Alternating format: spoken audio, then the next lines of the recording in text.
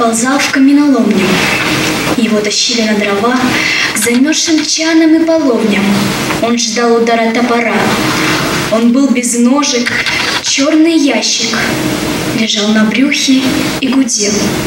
Он тяжело дышал, как ящер, в пещерном логове людей.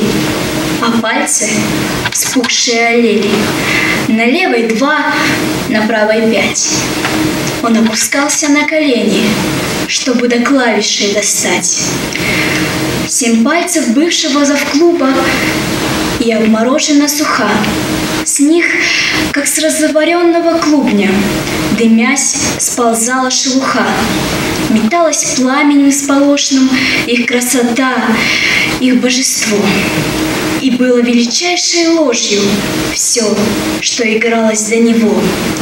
Все отражения люстр, колонны, во мне ревет рояля сталь. И я лежу в каменоломне, и я огромен, как рояль. Я отражаю штолен сажу, фигуры, голод, блеск костра, и как коронного пассажа я жду удара